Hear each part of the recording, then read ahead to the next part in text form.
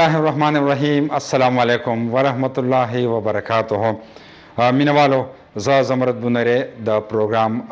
د مسافرو ستونزو سره ستاسو په درانه خدمت کې حاضر یم د مینه خلوص پرځونه وړاندې کوم تم لرم چې زمنګ خواږه کتونکي د خیبر مډلیس مینان بروغ جوړ او خوشحالي کتونکو په دې ورځ باندې پروګرام د مسافرو ستونزو کې زموږ کوشش دا وي چې د تېرې شوې هفتې چې کوم نیوز ریپورټس وي هغه هم تاسو ته وړاندې کوو او د دې سره سره زمونږ چې کوم که خواږه کتونکي دي که هغه په ګلف کې دي هغه موږ ته کال کوي د دې سره سره زموږ په ملک کې چې څوک زموږ کتونکي دي هغوی کال کوي او مطلب دا دی چې څه قسمه د مسافرو کوم مشکلات یې څه ستونزې د کونسلیټ امبیسي یا څه نور داسې د هغوی د پاکستاني ادارو سره ریلیټډ هغوی موږ ته کال کوي کوشش زمونږ د خیبر مډل ایسټ ټلویزیون دی چې زمونږ د مسافرو آ غږ متعلقه ادارو ته ورسي په یو ډیر ښه انداز کې. د دې سره سره زمونږ په ملک کې هم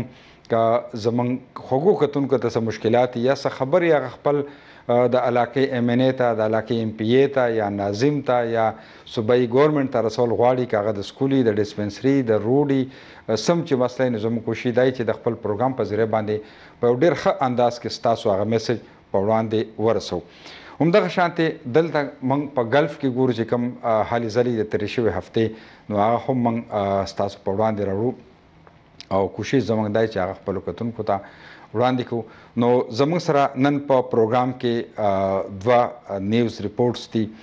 او چونکی کمرشل ریپورتس دي نو هغه به تاسو وړاندې کو لمبنه چې دی هغه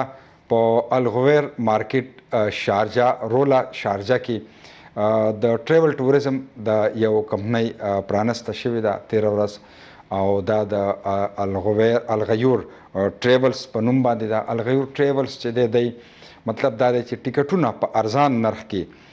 خاص کر د پښتنو د پر ځکه چې د دې چې کوم مالک دی اونر دی هغه پښتون دی خیبر پښتونخوا سره تعلق ساتي نو الغیور ټریولز چې دی د هغوی دا وینا ده چې پښتنو د پاره به موږ د دریو میاشتو پورې په اوریجنل پرایس باندې ټیکټ ورکوو د ټیکټ چې کوم د ایرلاین پرایس دی نو پای به ورکوو کمیشن به پکې نه اخلو د دین علاوه چې کوم ویزه که څوک دوه میاشتو د یوې میاشتې ویزه ده نو هغه به موږ په خپل اوریجنل ریټ ورکوو په دې کې به موږ خپل منافع چې دغه خلکو ته پریدو دین علاوه درې ورځې یو خصوصي د ټیکټونو د پاره پروموشن روان دی هغه د نن نه د درې ورځو پورې هغه دار چې ډیر زیات ډیسکاونټ به په ټیکټ کې ورکړي ریټرن ټیکټ کې هغه تاسو کول شي او بل دا خبره چې سعودي عربیا ګورنمنت چې دغه ملټیپل د 1 ایئر ملټیپل ویزا چې داغه دغه اعلان کړی دی او تقریبا 15 شپږ میاشتې وشو چې شروع دي او خلک د ون ير ملټيپل ويزا اپلاي کوي په هغې باندې هلته چې څه کار وي څه ځي نو هغې کې مطلب دا دی يو کال کې دننه دننه څوره وخت چې ځي نو تللی شي شپږ مياشتې په يو ځل تېرولی شي نو هغه هم دی اوریجنل چې کوم د ګورنمنت د سعودي ګورنمنت فیس دی نو هغه به الغیور ټریولز چې دی هغه اخلي سیواګرې پیسې به نه اخلي نو د الغیور ټریولز په دې پرانسته باندې موږ ستاسو لپاره یو رپورټ تیار کړی دی ګورم د پروډوسر صاحب نه تپوس کو چې رډی دی شته دی تیار دی او کنه نو راځئ قدرمن کتونکو چې د الغیور ټریولز رولا مارکیټ شارجا دا غیور چې ټریولز چې د دې د پرانسته تاسو ته مو خیو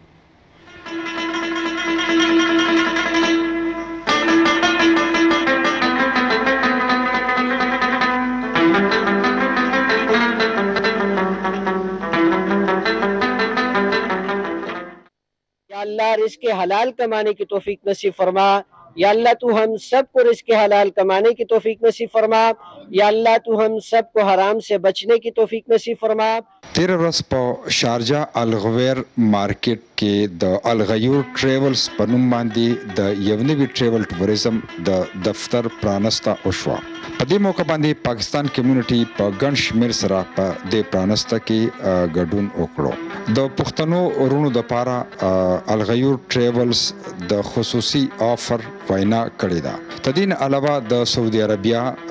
چې ملټیپل ون ایر ملټیپل ویزه ده هغه به هم په ډیر کم نرخ ورکړي او د درې ورځو پورې به ټیکټونو کې ډیر حد پورې رعایت وي نو د الغیور ټریولز د دې پروموشن نه فائدہ ترلاسه کړئ هم نن راشه او الغیور ټریول سره رابطه وکړئ د ټول نه غیر وای تاسو ته ډیر ډیر مبارکباد درکو په ډیر ښه لوکیشن باندې او بیا ډیر ښه یو هغه سوی ماډرن ټریول ایجنسی تاسو پرانست او کله سبا یې پرانست کوم کار بس دا خو ایمو دي مرګرو او دوستانو برکت سره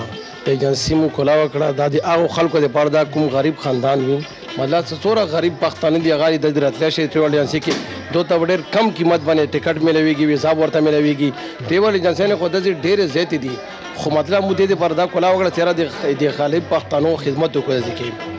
او نور دا راته غیر بای دی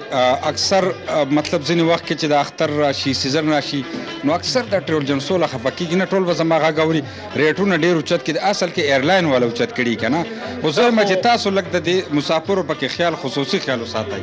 انشاءالله انشاءالله څه چاند دوه زرو نه کمه تنخواه وي داسې راتلی شي خپل اکچوال امایډ باندې هغو ته ټکټ میلاویږي ویزا میلاویږي نو پرافټ وي فل لایف دپاره ده چا دوه زره نه کمه تنخواه وي هغه دپاره هغه نه به یو چونی نه ګټو انشاءالله چې کوم اوریجنل دغه دی اوریجنل پرایز اکچوالي اماونټ یا به تنه خلو نور به خپل قیمت ورکو دا د ټولو غریبانو لپاره ده د دې لپاره کوم ښه خلک دي هغه تر پکار دي چې د نه ټیکټ والی څنګه د غریبانو پکې کار کیږي. په دا راته ووایه چې د ټکټ نه علاوه څه مطلب ویزټ ویزې که چا ضرورت وي هغه به هم تاسو ورکوئ؟ یو شی بل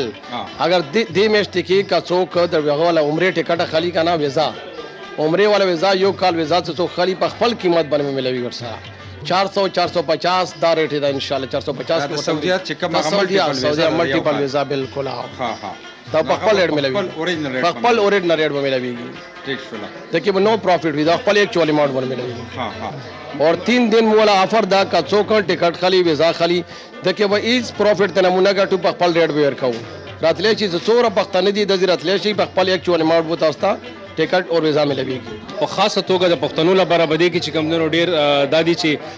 ټکټ کې او په ویزه کې چې کوم دنو ډیر زیات رعایت دی نو زه ټول پښتنو ورونو ته وایم چې تاسو دلته کې راشئ دا الغویر مارکیټ کې الغیور ټریول ټوریزم دی په کم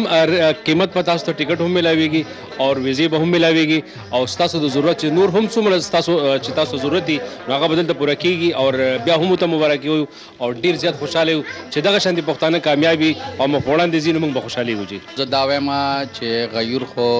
یو دا ټرانسپورټ د دې نه مخکې و د پښتنو خدمات یې کول او اوس یې دې سره سره غیور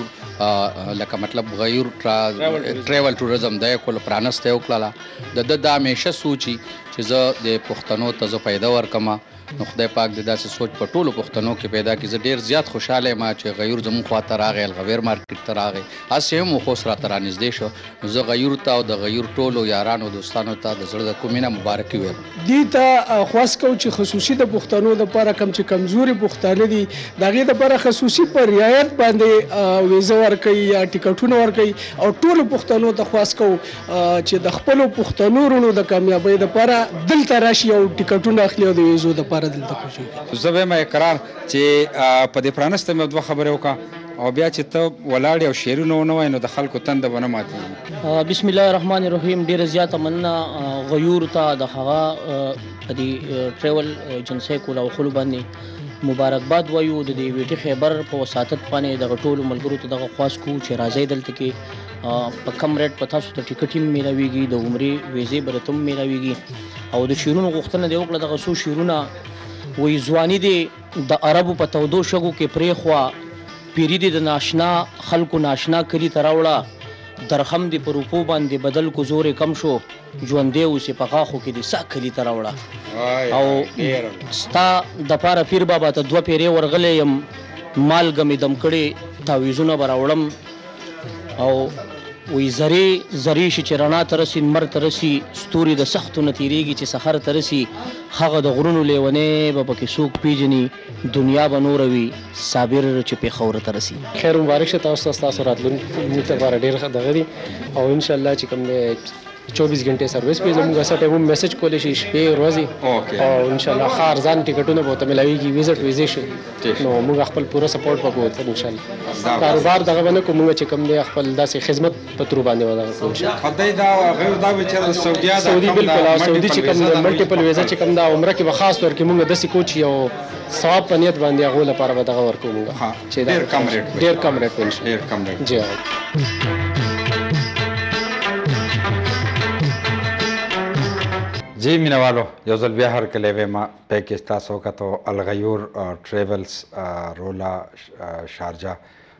دا یو ټریول ایجنسی وه د هغې پرانسته شوې وه شارجه کې او ډیر ښه مطلب دا چې رعایت په ټیکټونو کې ورکوي د خپلو پښتنو وروڼو لپاره نو د هغې رپورټ تاسو وکتو اوس په داسې کې چې مخکې زموږ سره یو بل رپورټ دی هغه د خوراک سره تعلق لرونکي کمپني دی څه دی رسټورانټ دی مینوالو یو ای کې اکثر چې کم د پښتنو کاروبارونه دي زه به ویم د خوراک سره یعنی مطلب دا دی چې هاسپټیلیټي چې د څه ده ریسټورانټس چې نو پای کې چې کوم د پښتنو دي نو هغه ډیر زیات ښه دغه دي خو یو کمې دلته خلک محسوسوي په یوې کې چې کم زموږ په وطن کې لکه اوس ژمی دی او زموږ په وطن کې چپ پلی کباب چې دي دا خلک ډیر زیات خوښوي او هغه د مختلف ځایګونو څوک د تارو جبې ښه دي څوک د پلاني ښه دي څوک د پلاني ښه دي د تخبای والا ښه دي خو دلته مسکی چیرې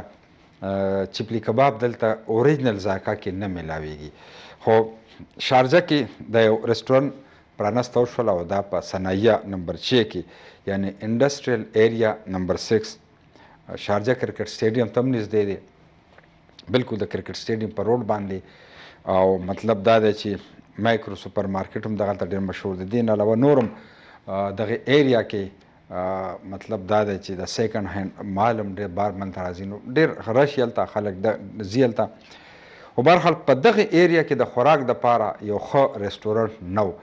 نو زموږ پښتنو رونو هلته یو رستورانت کولاو کو چې هغه باب المجلس په نوم دی باب المجلس رستورانت او دا وته مې چې باب المجلس کچن رستورانت او په ډیر ښه انداز سره په ډیر ښه ستر ځای کې هغوی جوړ کړو خپلې بلډینګ کولاو ځای دی د ناستې په څنګه چې زموږ افغاني رسټورانټ کې په ځمکه په قالین کینی هغه پکې هم شته کرسۍ هم پکې شته دی د فیملی لپاره پکې هم ځای شته دی بیا خوراکونه چې کوم زموږ د پیښور چې کوم تیکه مشهور ده نو هغه هم پکې د پیښور نه کس راوستی هغه مشهور تیکه چې دا هم پکې جوړي چپلی کباب چې د ثوابۍ نه یو ډېر ښه کاریګر راوستی دی او ډېر ښایسته چپلی کباب جوړوي بلکل تاسو ته به د وطن ټیسټ میلاویږي دې نه علاوه افغاني پلاو هم د دی مشهور دی، شینواري کړايي هم، ډېر څیزونه او ډېر ښه ټېسټ دی د هغې. په دغې رېسټورانټ په دې پرانسته باندې د دی په دې خوراکونو باندې موږ ستاسو لپاره یو پېکېج تیار کړی دی، نو راځئ چې تاسو ته د یو ښه رېسټورانټ د ښه خوراکونو ځای هم وښیو او دا تاسو وګورئ او بیا هلته وېزېټ هم کولای شئ او چېک کولای هم شئ. راځئ چې ویې ګورو.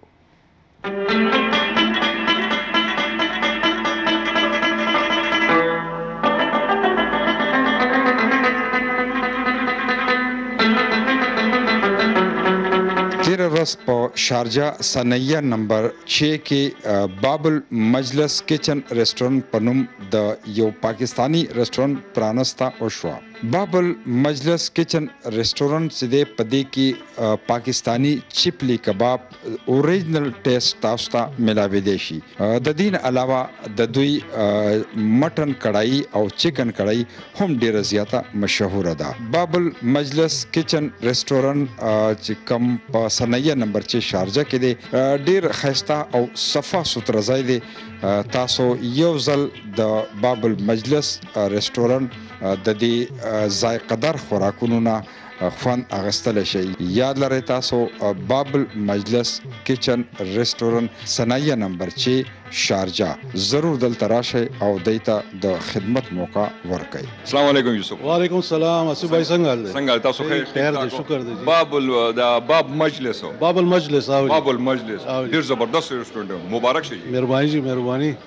دا سوچ هم څنګه راغی چی تاسو وای چی دا دلته رستورانت کلو. یاره جی سنایه نمبر چه کی مونږ دا رستورانت کلاو کو بابل مسجد شارجه کی او بس د پختنو دلته داسه رستورانت نو چه هغه کھانه د هغه ټیسټ دلته ملاویدو نو ما سوچ وکړو چه یاره خپل دا پښاور دا ټیسټ نه مګ منډی کړایانه کباب دا دلته هر څه راولم او بس انشاءالله شروعات مو وکړو نو بس ماشاءالله ښه روان دی. ښه روان یې نن څویمه ورځ ده نن جی څلورمه ورځ ده څلورمه اوپننګ وشو او دلته د دنیا پښتانه دلته ګورو ډېر ډېر ټول میجارټي دلته ټول پښتانه دي جی دا چې نمبر صنایع کې دا چې نمبر صنایع ده پر سره خوا کې مخامخ 5 نمبر ده او مونږ ډیلیوري هم کوو دا چې نمبر کې کم ځای کې ده چې نمبر کې دا میکرو سپر مارکیټ ای سره خوا کې جوخته سیکنډ رائټ باندې دا جی او کباب ټیسټ ډیر زبردست دی کباب ډیر زبردست دی مون سپیشلی کباب چې دی الته په خور نه مراوست دی اجمل نامه ده او ماشاءالله کباب ډیر خشته دی تاسو وخوړل او نمک منډي والا تی کوم نمک منډي والا جاوید مراوست دی او ماشاءالله ډیر تکړه دی او نثار چرسی کې کار کړی دی ترې اوس هم هلته کار کوي او زبردست کار دی ما ته دا هم پته چې آصف خان فلم سټار ستاسو تره دی او جی ها او ارباس خان هم د تر زوی ارباس خان مې تر زوی دی او جی ای اوپننګ ته راغلی ارباس خو موږ سره ته ماشاءالله یو هفته تیر کا او ډېر خلک راغله غته سب ویل غواړي خپل پښتنو بس پښتنو زما چې دلته سم رونه دي مسافر دي ای ته زدا وین غواړم چې دلته راشي زمونږ د رستورانت باب المجلس ته او دلته زمونږ د کانې ټرای کوي خشته و تاسو لګي ان شاء الله نمک منډي ټیسټ دلته ده زمونږ د پیښور کباب دلته چې کم مشهور دي تاروکه باب هغه هم دلته ملاویږی نو تاسو ضرور راشی. باب المجلس باره کې راته لږ ډېر وایه. باب المجلس رسټورانټ ماشاءالله زموږ د یوسف بای یو ډیر ښه ځای و چې شارجه کې کولاو کو او دا دا سوچ چې زه په دوبۍ کې او په شارجه کې یو رسټورانټ کولاو کم او د هغه د پښتنو مرګرو ته چې چې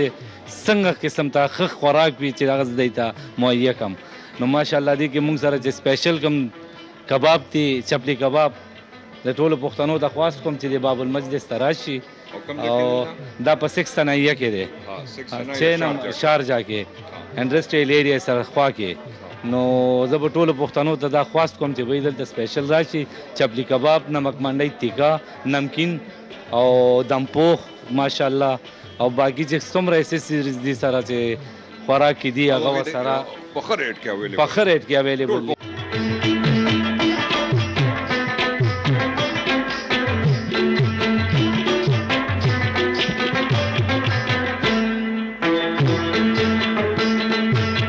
السلام علیکم ارباز خان وعلیکم سلام څنګه حال دي تاسو خیر د الله ډیر کرم دی تاسو څنګه یې زه بالکل ټیک ټاک ماشاءالله تاسو امارات تراغلی او بیا شارجه کې چې نمبر سنایا کې او یو ډیر زبردست ریسټورانټ دی اصل کې دا دی کنه چې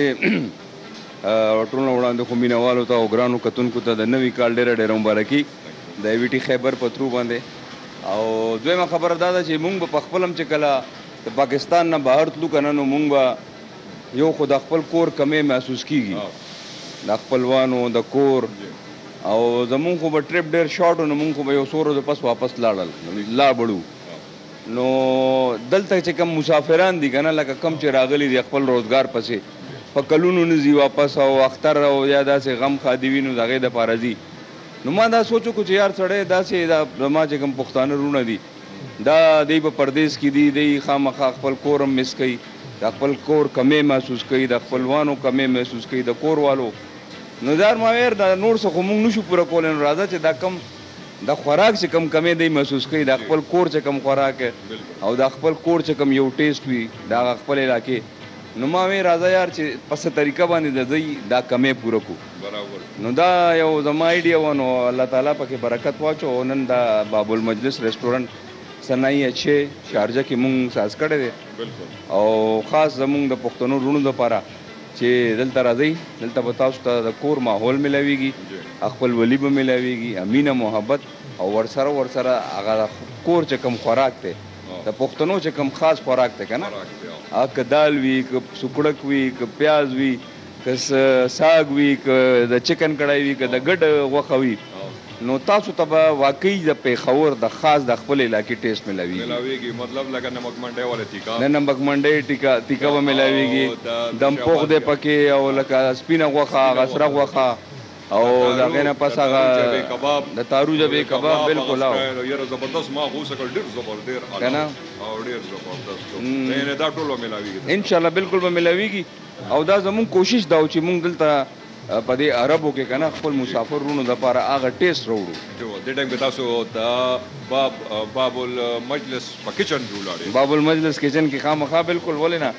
او وس دې ته هم دا خواست چې وروره لګ د خپل ملمنو او د خپل پښتنو ورونو لګ خیال ساته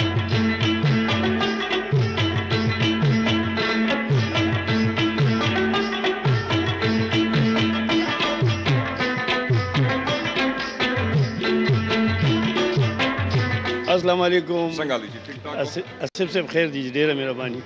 باب المجلس ریسټورانټ باب ریسټورانټ تقریبا ز په کې راغلم او کانه مې خوړاو الحمدلله څنګه چې په خور کې هر یو شی ډیر مزیداری نوم دغه شان د دې نمک منډه کړی د دې غوخه روجي او بیا خاص کر سپیشل کباب ډیر مزیدار دي یو ځل خوراک ټولو پښتنو له ټولو مسافرو له پکار دی چې یو ځل خو خامخا وخوري نو ان شاء الله خوند مزه یو بل شانته دا او دا دی چې دا سړی کم دی نو دا ډیر مینناک دی اخلاقی دی او د پښتنو سره پورا دی رایت کوي نو زه ته بیا هم دعوت ورکوم چې یو ځل 6 نمبر سنې کې د جنپی سره لکون ته چې راشه پهله ریټ نه دویم ریټ کې راتاو شئ ډېر ښکلی رسټورانټ دی او ستاسو دپاره دی خامخا ضرور راشئ.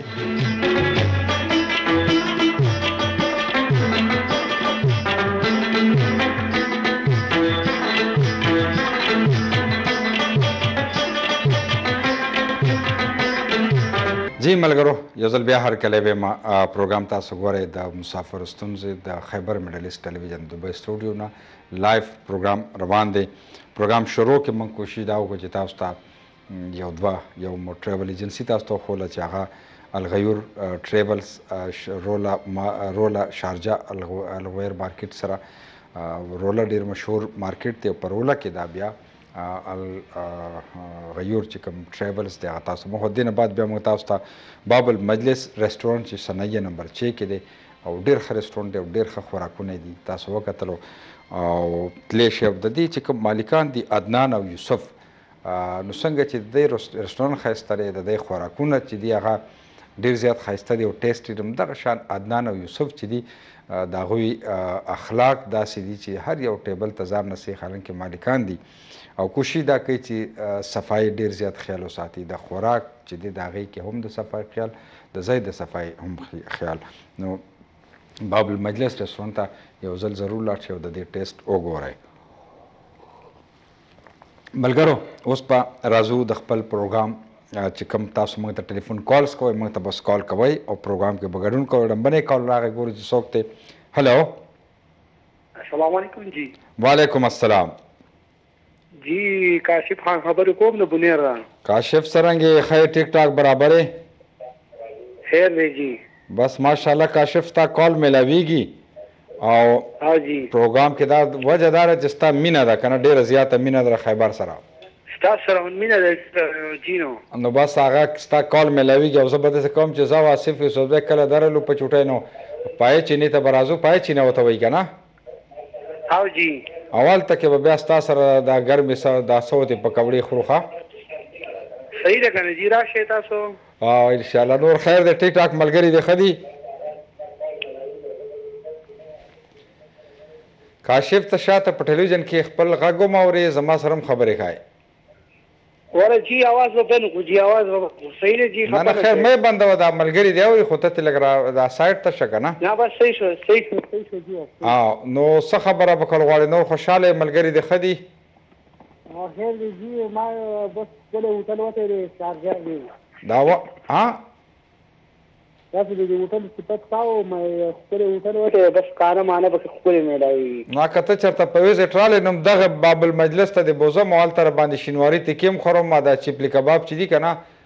نو دا به د باندې وخورم ستا نه به د بنیر کباب ډیر شي. ویزه می دغه کړی ده درځم مګه حی. بس چې ته راشې سیده دې باب المجلس ته رسوم او شینواری کړایی او دا کباب چې کوم د دی مشهور دا د باندې خوروم ان شاءالله. درځو به حاکه حی ان شاءالله زمرود بنیری صیب. جی بلکل صحیح ده ان شاءالله چکر به رالګای نور ته کار څه کای. زه خو جی بس تعلیم کو نو ښه تعلیم کای څه تعلیم کای بس یو لسم کې یم نو په ډګر کالج کې که د سکول کې ډګر سکول کې ډګر کالج کې ډګر کالج کې زه خره تعلیم د جاری وساته صحیح دی جی اوس خو ډګر کالج چې د سواړې کې هغه ډیر مطلب دار اوس خو یونیورسيټي ده زه ډیره مننه کاشف ستاسو د ټلیفون کال ډیره ډیره مننه او همدغه شان کله نا کله کال کوه او کله چې کال کوي نو سټوډنټ نو سه یو یو خبره دوم داسې چې هغه زمونږ کتونکو ته فایده اخلي نو به هم ډیره ښه وي که نه که هغه خبره کوي نو مینوالو تاسو موږ ته ټلیفون کال کولی شئ پروګرام کې ګډون کولی شئ د ټلیفون په لیکه باندې او خپله خبره هم شاملولی شئ د دې سره سره تیر شوی پروګرام کې شارجه نه موږ ته سید نواب کال کړی او سید نواب چې واغه ډیر اهم خبره باندې مدا کړو او زه یو کال راغی ور بدا کال وهلو هلو السلام علیکم ورحمت الله وبرکاتو وعلیکم السلام ورحمت الله وبرکاتو شفیق بای سرنګي بلکل په اوریجنل ګرانۍ کې د پاکستان نه په تاسو خواږه سلامونه. وعلیکم السلام نو عایشه راسره ناسته ده که وده شوې ده. نه نه ویښه یم زه ده بس ورور سره یې جنګ جګړې لګولې زه ترې بار راووتم بس بیا خو اواز نه دغه کیږي کنه مونږ خو په ایس او پیز عمل کوو کنه. یاره زنده باد شفیق زنده باد منم. او لکه دا خو نه چې ته یې د رامبیلي کباب هم وخورم او د مفته دې هم وخورم او کور دې هم وخورم. نو خامخا څه قرباني خو به ورکې که نه نو بس چې واړه دی اواز اوري بیا به بار راوځي او چې بار نه راوځي نو بیا خو بس لین باندې نه پوهي که نه زه ښه ده چې کور کې عایشه او ستا بچي دي او کور والا به ستا غږ اوري او ما زما ستا به خبرې اترې شي نور خیر دی ژوند دې ښه روان دی الحمدلله الحمدلله شکر دی بس وخت سات تېرېږي ښه زه چې ښه یې او خوشحاله یې او وخت یې ښه تېرېږي او نو بس ستاسو د کال لومړی پروګرام دی نو بس دا میسج هم خلکو له ورکړو چې کله هم کال ملاوېږي مهرباني کوئ ټي وي اواز بندوئ او که اواز کولو ساتئ نو بیا به بهر روځئ کمبلې نه. یاره دقه خبره چې که اواز نه بندوې نو د کمرې نه بهر او د کمرې نه چې بهر شې نو بیا ښه یي که نه. او زمرود صیب بس بله خبره مې دا وکړه مهنګۍ ډېره زیاته شوې ده بس الله پاک دې زموږ په حال په ټولو رحم وکړي. والله اوس یو یو هلک ماته تصویر راولیږو نو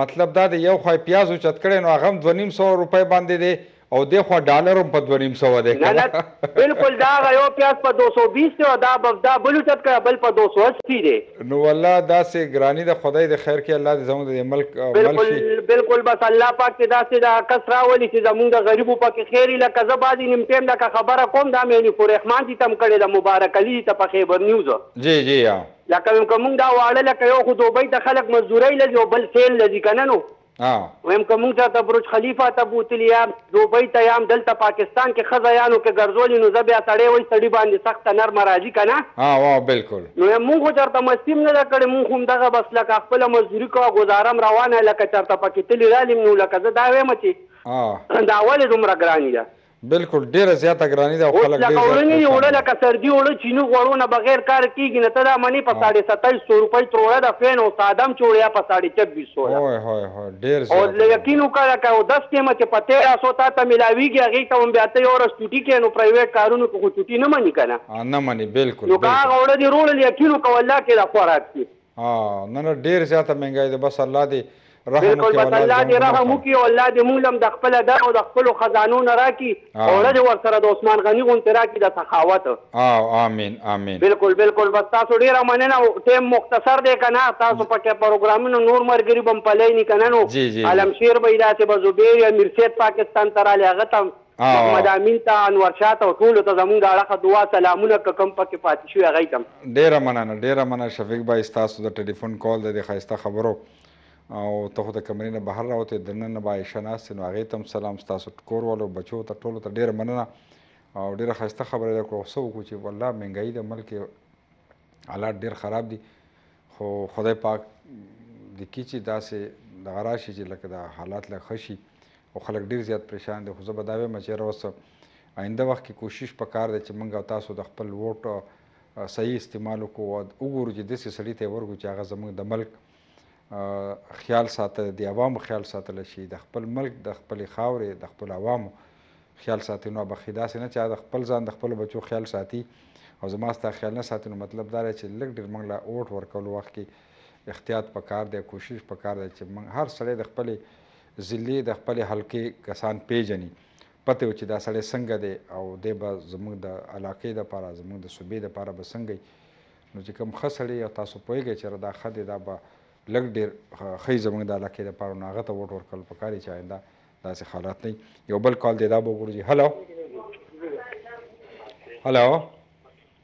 هلو جی څو خبرې کوي ستاسو کال ملاو شوی دی جی کال ملاو شوی دی جی خبرې څوک کوي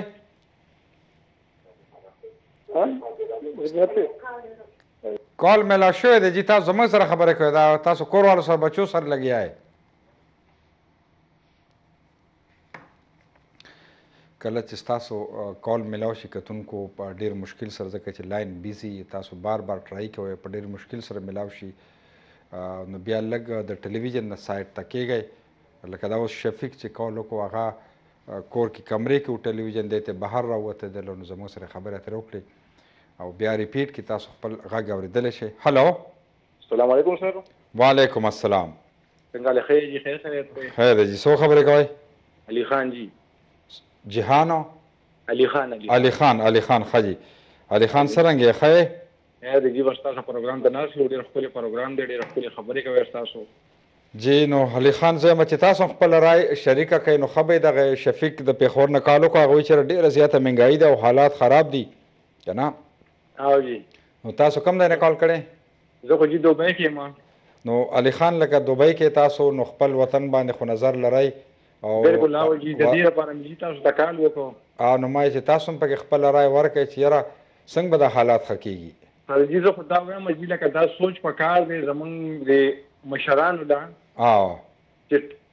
څومره مهنګايي جوړه شوې ده روزګار نشته هيڅ شی نشته. بلکل روزګارونه نشته دی او مهنګايي زياته ده. سرمايه دار خلک دي ده جي هغوي د څه نه نه دي خبر او هغوي ته ګاډی شته بينک بيلنس شته هر شی برابر دی واخد زور غريب له راغلی دی. غريب زور ټول غريب له راغلی. زمونږ غريب داسې زه خپله په پردي ملک پروت يم مسافر يم بچي مي پريښي داسې نور زما وروڼه بهيګان پراتي دي. نو اخر لکه موږ په دې باندې حیران یو چې زموږ دا ملک ولې دومره داسې دغه لکه ټول ملکونه مخ په ترقۍ روان دي او زموږ ملک وروسته ود لکه بنګله دیش نه هم زموږ ملک په لاندې راغی د انډیا نه هم زموږ ملک په لاندې راغی بالکل ډېر لکه دې سره به څه کېږي د هغوی د هغوی ریټ ته وګورئ د پیسو تاسو زموږ ریټ ته جي وګورئ بنګله دیش ټکه چې هغه زموږ نه ډېر زیات سټرانګ ده انډیا والا روپیز چې دی هغه زموږ نه سټرانګ دی که نه او جي ټول نږدې زمونږ ګاونډي هیواد افغانستان کرنسي زمونږ نه سټرانګ ده زمونږ ډیره زیاته خرابه شوله او څه فکر یې د چا سره نشته زمونږ ملک کې مهنګايي روانه ده ګراني ده ډیره زیاته ډیره ګراني ده جی نو تاسو دا کم چې د وطن نه لري څه وایي چې رکه الیکشن راشي نو څه قسمه خلک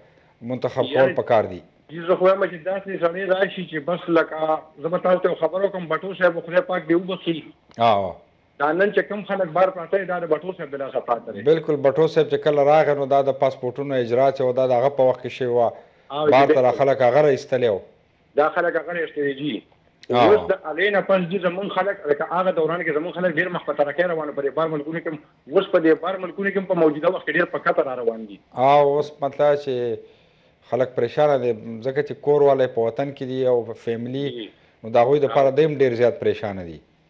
او جنزم زموږ پر ملک باندې خدای پاک داسې حکمران ناولي چې زموږ د دې غریبو سره ترتیب وکړي ځکه چې زموږ وي موږ غریب خلکو نه موږ غریب خلکۍ داسې چې وژني بس ختموي مو او ځکه چې غریب پکې مطلب دا دی چې څه به ورته ووایو تباه ورته نه شو ویلی خو به هر حال خوار و زار دی پکې که نه بس خوار و زار یو لکه زه به چې دلته تاسو ته زموږ دلته کله کار وي او کله نه وي او خپل ملک هم زموږ دا کسې بچي دا کسې دغه خبره ګوره بجلۍ ته وګوره بجلي نشته ګیس نشته کوم شی شته یو شی نشته دی. ډیمونه زمونږ په ملک کی شته لخیره خو بجلی مونږ ته نشته. ډیمونه نه جوړی سو کنه ډیمونه که جوړ کړی وی په وخت باندی او ته بجلی دا لوډ شیډینګ ختم شی وی کنه نو څه به ووایی یو شی نشته دی. دی ګیس نشته لکه مینګای ته وګوره لکه وړو د ورونو ترونه جی په په یویشت او په دویشت سوه مونږ ډانډی پکی راوړو اوس هغه اوړه مونږ راوړو یا د خوراک هم نه یی. ها ها د دغه نه یی. لکه نو دا غریبی ده نو مونږ هم اریان یو چې خدای پاک دې داسې په دې مونږ باندې په زمونږ په دې ملک باندې غیبانه رحم وکړي چې زمونږ دا ملک په تر مخ په ترقۍ روان شي. لکه دلته چې مونږ ورشو مونږ دې پیسې لېږو چې مونږ خپل ملک ته وګورو د انډیا ته او دغه ته وګورو نو والله خیر مونږ ډېر زیات پریشان شو ډېر خفه شو. ډېر زیات فرق دی کنه زموږ روپۍ چې دا ډېره زیاته کمزورې شوله. ډېره زیاته جی لکه هغه زمونږ دا په 65 کې 66 کې چلیږي او د انډیا او د پاکستان هغه په 18 کې په 20 کې چلیږي. بالکل.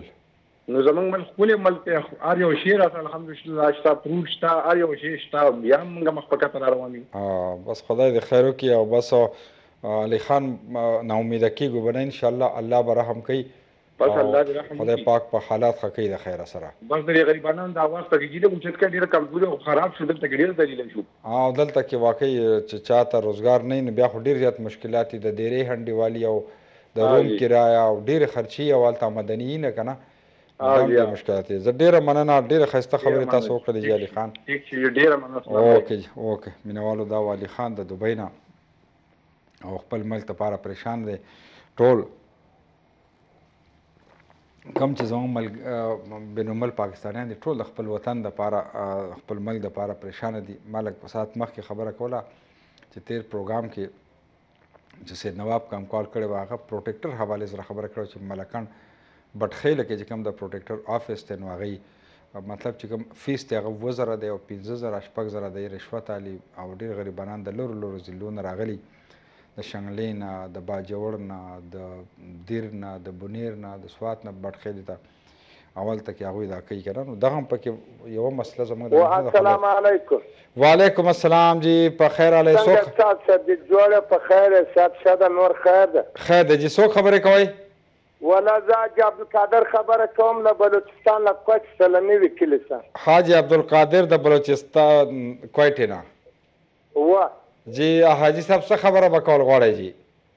بس خبره دا غواړم زما وروره چې دغه اوس موجوده حکومت چې ده یا دا اوپایې ګورمنټ چې ده دغه دا کاروباریان دا سوراپان تنګوي وروره موږ دغه یو خواست کوو سرکاري نوکري نه لرو وروره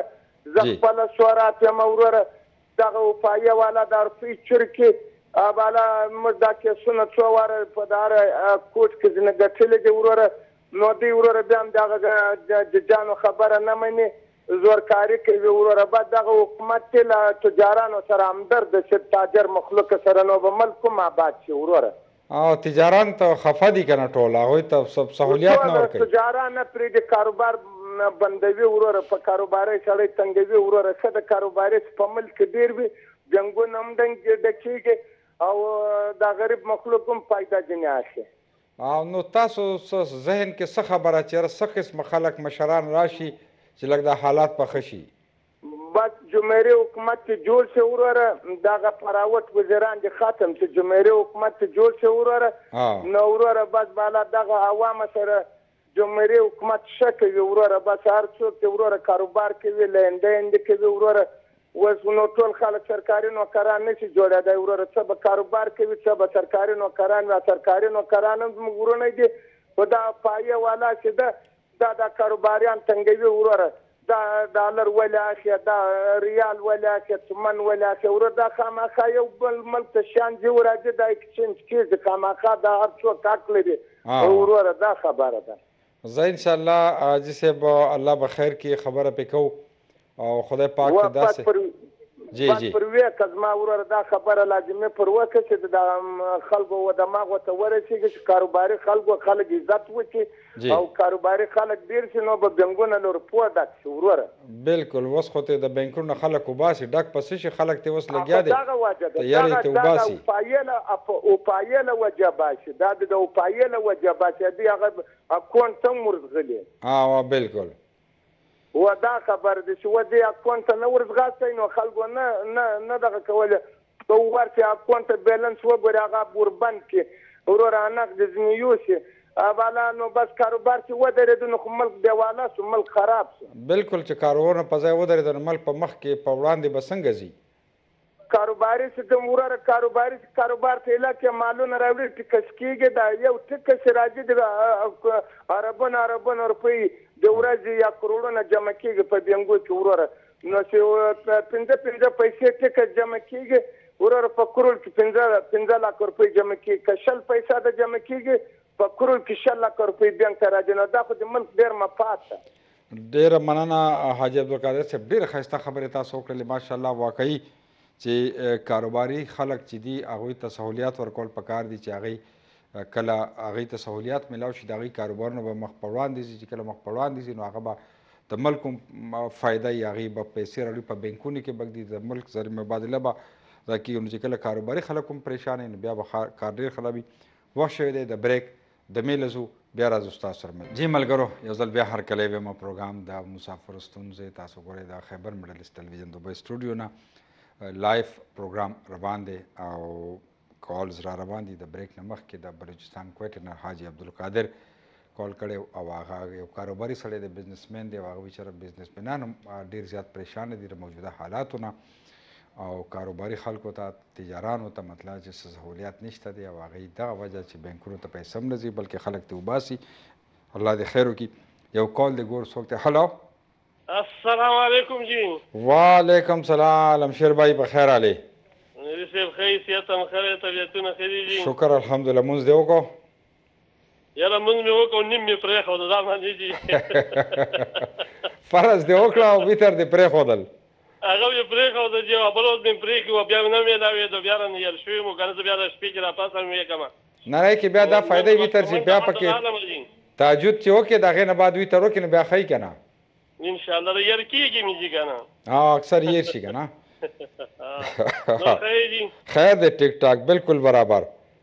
الله دې خوشحال لره نو دا یو دوه کالران یو علي خان د دوبۍ نه کاله کو کېدای شي تاسو نه اورېدلی تاسو به لیټ راغلی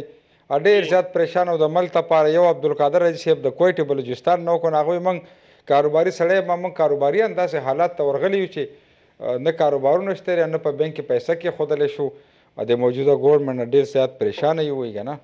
نو خلک ټول ګډوډ دی جی موږ اکثر دوکه کیږو د دې خلکو په چهرو باندې کنه جی ها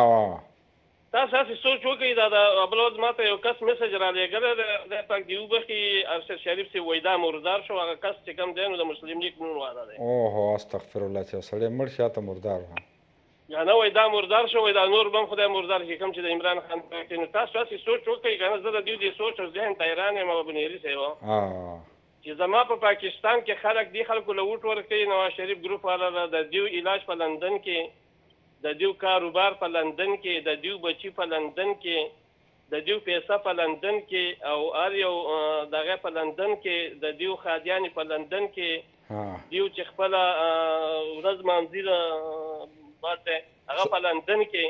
نشنلټي د لندن کې او دلته به خلک ځان وجني نو دا ډیر افسوسناک خبره ده کنه بالکل چې تر څو پورې زما بیا قوم را پاسېدلی نه دیو فیصله نه کړ خپل محسن نه پیژندلی نو دا کم چې راغونډ شوي دي دی خدای خبر کړه قوم په مرهم په زخمونو باندې مرهم واچي کنه تاسو پرون د نورعالم خان یو بیان وګورئ چې په دې بانوې نیوز باندې هم هغه دغه شوی دی چې هغه دا خبره کړې ده لکه اوس دوی دا کوشش کوي چې یاره په څه طریقه باندې مونږ د دې غریبانانو په مرۍ باندې ګوتې کیږدو چې دا ختم شي غریبي به ختمه شي که نه هغه دا خبره کړې ده چې یاره صحت کارت چې کوم عمران خان ایشو کړی دی نو په دې کې غټ کرپشن شوی دی او دا پابندي په دې لګول پکار ده عالم کې دا زموږ دونه بدقسمتي ده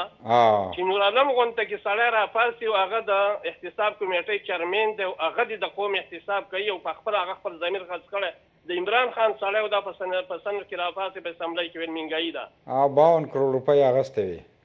باغ کروړ روپۍ ده اخیستې وې او هغه نن راپاڅي وای چې د غریبانانو دا دغه بندول غواړي تاسو دې ته سوچ وکړي دا څونه افسوسناکه خبره ده کنه آوا بالکل صرف او صرف زما د قوم د پاره دا جهاد دی زه به تاسو ته دا ویم ګوره اردګان صاحب راپاڅي د هغه حکومت یې ختم کو هغه قوم راپاڅي هغه بحال کو آوا بالکل د ټینکونو مخه ته سم لاستل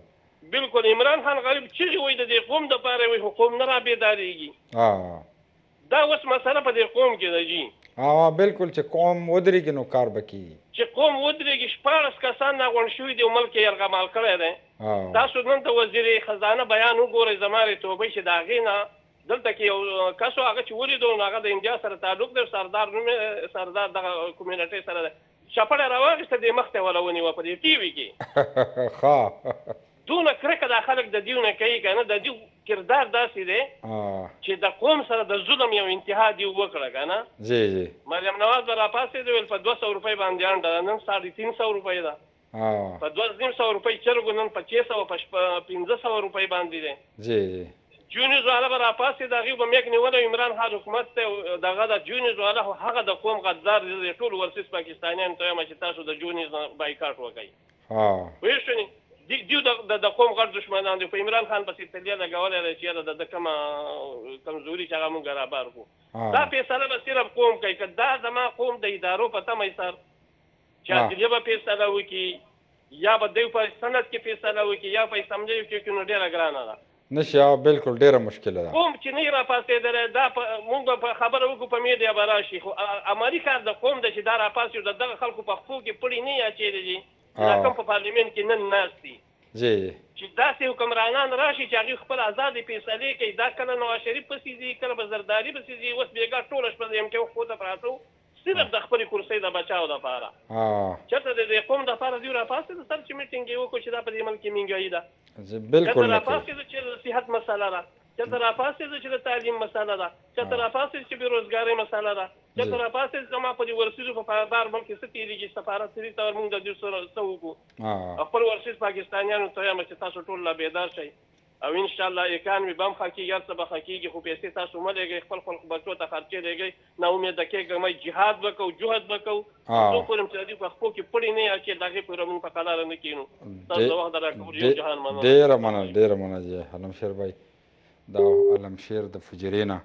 او خبرې وکړې څنګه چې دا نور خلک هم د حالاتو د مهنګایي او د موجوده ګورنمنټ نه پریشان دي دغه شانتې دی هم مطلب دا چې ناس دلته دی خو چونکی فیملی په وطن کې بچي او ټول دا په وطن کې نو هغه باندې د پریشانې ځکه چې هلته کې ډیره زیاته مهنګایي روانه ده حالات ډیر زیات خراب دي او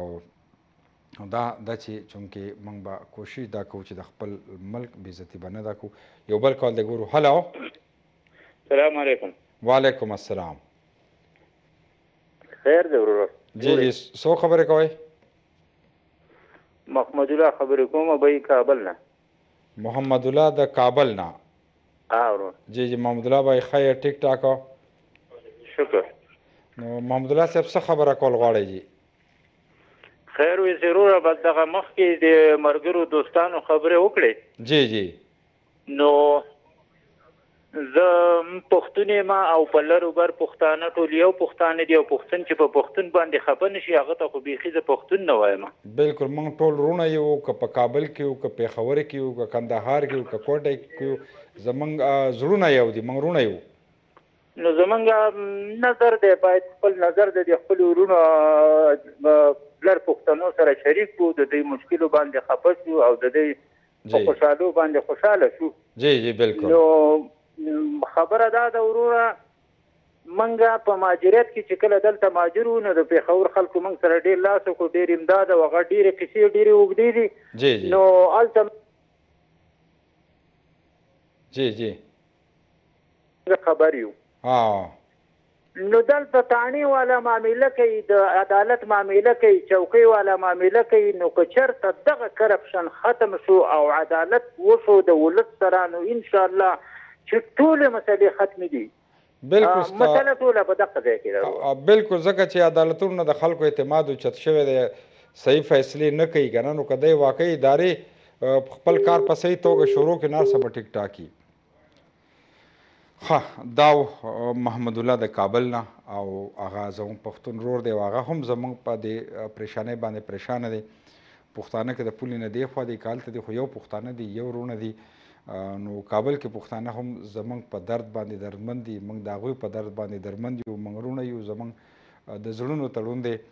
او همیشه به د یو بل سره مرسته کوو نو دغه شانتې محمد الله د کابل نه کالو کوه هغه د دې څه چې زموږ د خلکو دا خبره ترې پریشانی واري د پای باندې ډیر زیات پریشان